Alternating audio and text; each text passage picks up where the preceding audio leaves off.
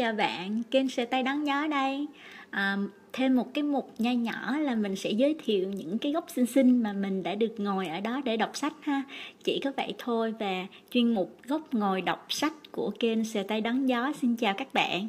À, Tuần trước thì mình có đi chơi với cái văn phòng chỗ mình làm việc á và mình cũng có đem theo sách để mà đọc khi mà mình cảm thấy muốn đọc một chút.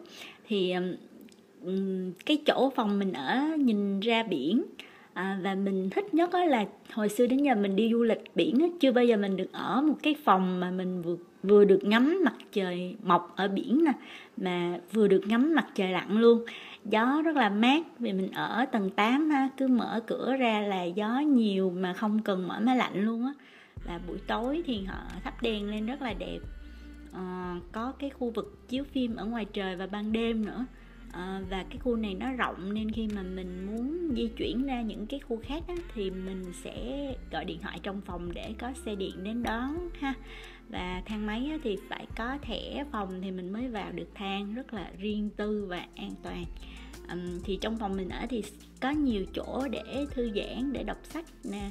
Um, giường này ghế ngồi này ghế nằm này và ngoài ra ngoài hiên ngồi thì nó cũng rất là mát mẻ uhm, chỉ là ngắn ngắn vậy thôi ha. Cảm ơn bạn đã xem clip và nếu mà bạn thích chuyên mục này thì bạn cứ bấm like ha để hy vọng là mình sẽ lưu giữ được nhiều cái góc ngồi đọc sách đẹp đẹp dễ thương mà mình hay à, có dịp đến để chia sẻ với mọi người. Bye bye. Chúc mọi người một tuần an lành nha.